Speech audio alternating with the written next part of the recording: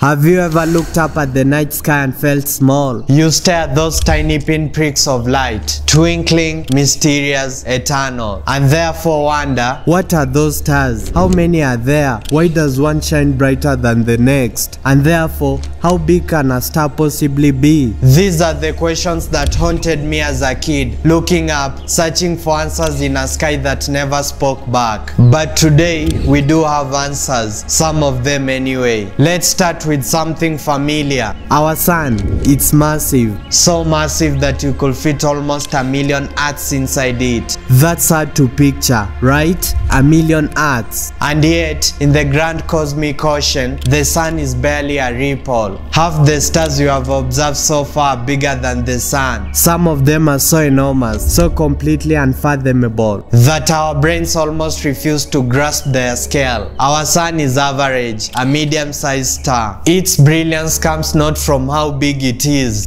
but how close. So if our mighty sun is in the biggest, then what is? Let's go on a scale journey. Earth next to Jupiter, we are toast. Jupiter next to the sun, now we are toast. But the sun next to Uaiskuti, the second largest non-star in the Milky Way. It will be like dropping a marble inside a cathedral dome. Its outer layers will reach beyond Jupiter's orbit. Let that sink in. Past Jupiter. And here's where your mind might need a breather. You could fill your UY Scuti with 5 billion suns, 7 trillion Jupiters, or 7 quadrillion Earths. I don't know about you, but when I first read that, my brain just kind of paused. There's no earthly metaphor big enough for this kind of scale. I think I should come up with one, right? And you are still not at the biggest. You don't want to see how big the largest star in the universe is, but you're going to.